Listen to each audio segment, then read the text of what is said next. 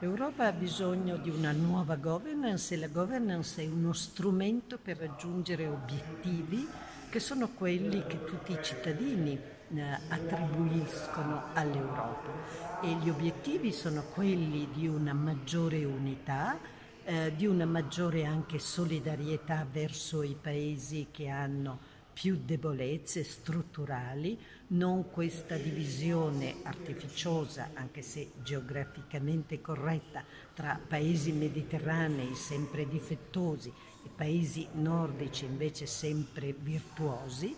Ehm, e quindi io credo che la governance sia importante, ma la governance passa attraverso la revisione dei trattati. Quindi i trattati non si possono semplicemente buttare nel cestino, vanno presi, si dice questo va modificato, quest'altro va modificato. Dobbiamo dare più potere all'Europa e io penso che d'altronde questo sia ciò che i nostri giovani che si sentono europei molto più che non italiani,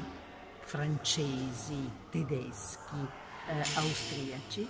questo i nostri giovani lo sanno e io spero che ci sia questo recupero di saggezza